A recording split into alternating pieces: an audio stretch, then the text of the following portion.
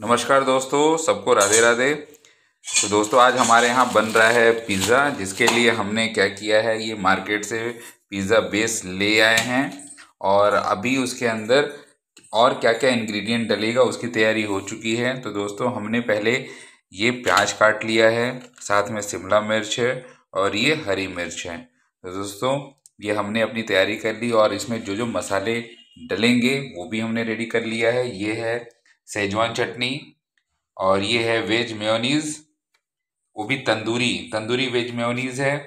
इसमें डालेगा नैपिन का पेरी पेरी मसाला, फिर इसमें जाएगा चीज़ी गार्लिक मसाला, इसमें जाएगा ये पास्ता मिक्स मसाला और ये जाएगा इसमें चिली फ्लेक्स और दोस्तों, साथ में जाएगा ये अपना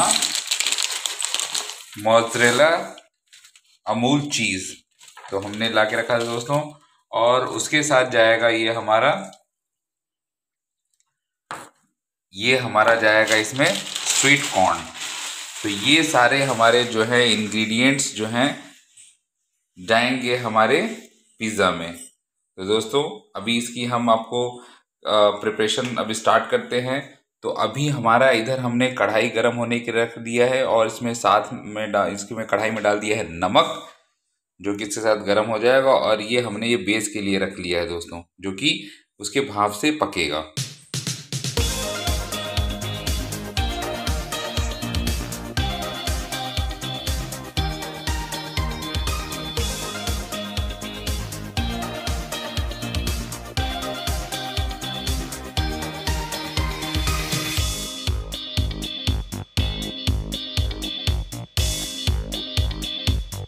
कि हम अपना पिज़्ज़ा तैयार करने की स्टार्ट करते हैं। तो सबसे पहले हम अपना पिज़्ज़ा बेस ले लेते हैं और पिज़्ज़ा बेस को लेने के बाद हम अभी क्या करेंगे कि जो भी हमारे पास इंग्रेडिएंट है वो इस पिज़्ज़ा बेस में जाएगा। तो सबसे पहले हम इसमें लेंगे सेजवान चिंग चाइनीज़ चटनी मसाला, जो कि इस इस ब्रेड के ऊपर हम पूरी तरह से स्प्रेड कर देंगे, फैला देंगे क्योंकि अगर इसको नहीं इसके ऊपर डालेंगे तो फिर वो टेस्ट नहीं आएगा। तो अभी हम इसको पूरी तरह से इसको खिला लेंगे। और साथ में ये जाएगा वेज तंदूरी मेयोनीज़। दोस्तों, वेज मेयोनीज़, जो अपना मेयोनीज़ है, तंदूरी मेयोनीज़ का टेस्ट बहुत ही लाजवाब है। आप एक बार, आप लोग घर पे ला के ट्राई करिए। डेफिनेटली बच्चों को भी बहुत टेस्ट लगेगा। तो हमने क्या कर रहे हैं कि ये दोनों को एक साथ मिक्स कर ले रहे हैं। अब इसके ऊपर गया हमारा प्याज। हमने प्याज का पूरा एकदम लेयर लगा दिया है दोस्तों। और अब इसके साथ जाएगा हमारा कैप्सिकम, जो कि शिमला मिर्च है, जो इसके ऊपर हमारा देखिए अब देखिए बेस कितना सुंदर दिखने लगा है। और अब इसके ऊपर जाएँगे सारे ये मसाले। पहले इसमें गया है अपना गार्लिक चीज़ ब्रेड मसाला, फिर अभी ये जा रहा है हमारा गार्लिक चीज़ ब्रेड मसाला चला गया दोस्तों। और इसको पूरी तरह से फैलाएँगे मसाले की जगह नहीं रखेंगे, पूरी तरफ़ से सारी पूरे बेस को कवर कर लेंगे आप। ये और गया अपना चिली फ्लेक्स गया। देखिए कितना सुंदर दिख रहा है दोस्तों। और अब इसमें ये गया है, पेरी पेरी मसाला गया है दोस्तों।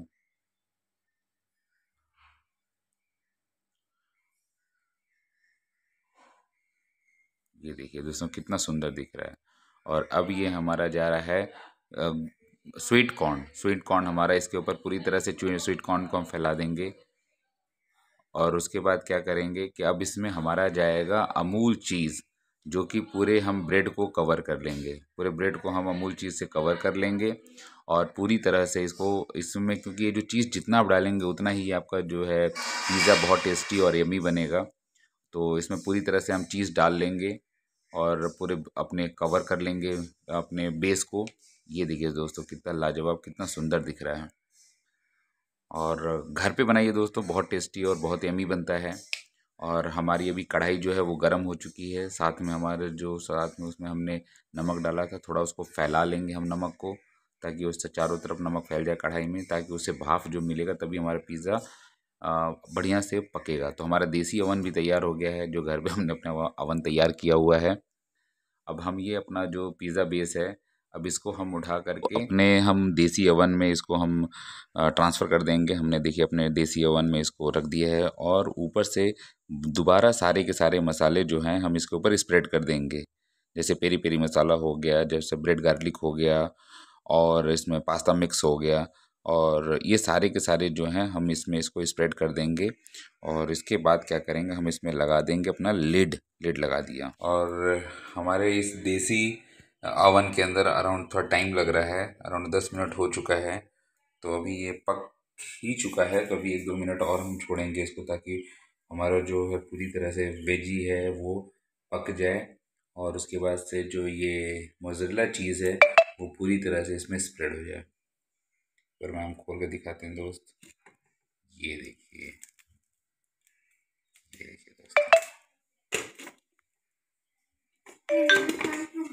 तो दोस्तों देखिए, हमारा जो पिज़्ज़ा है पूरी तरह से बन के रेडी हो चुका है। अब हम जा रहे हैं इसको टेस्ट करने और इधर पावनी पावनी भाग गई हैं। पावनी, आइए इधर देखिए, आपके लिए पिज़्ज़ा बन के रेडी है। तो दोस्तों, ये देखिए, हमारे घर में चार मेंबर हैं और चार स्लाइस निकली हुई है पिज़्ज़ा की और इधर काव्यांश भी आ गए वो। और दोस्तों, आप, जैसा हमने वीडियो में दिखाया है, बनाया, आप बिल्कुल उसी तरह से अगर बनाते हैं तो आपका पिज़्ज़ा टेस्टी यमी और बहुत ही क्रिस्पी बनेगा। हमारा पिज़्ज़ा तो बहुत ही क्रिस्पी बना हुआ है दोस्तों। तो अभी दोस्तों हम इंजॉय और दोस्तों इधर पावनी देख रही हैं। अभी ये पावनी भी आ चुकी हैं। तो पावनी ने अपनी स्लाइस तो उठा ली है और अभी पावनी उठाने के बाद आपसे शेयर कर रही हैं। ये रही पावनी। कैसा पावनी? टेस्ट करके बताइए।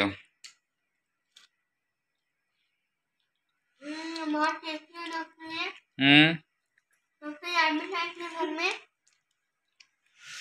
हम्म। और ये रहा दोस्तों हमारा पिज़्ज़ा तो अभी हम जा रहे हैं, देखिए हमारा पिज़्ज़ा एकदम बिल्कुल हम जा रहे हैं टेस्ट करने दोस्तों। आप लोग भी अपने घर में टेस्ट करिए।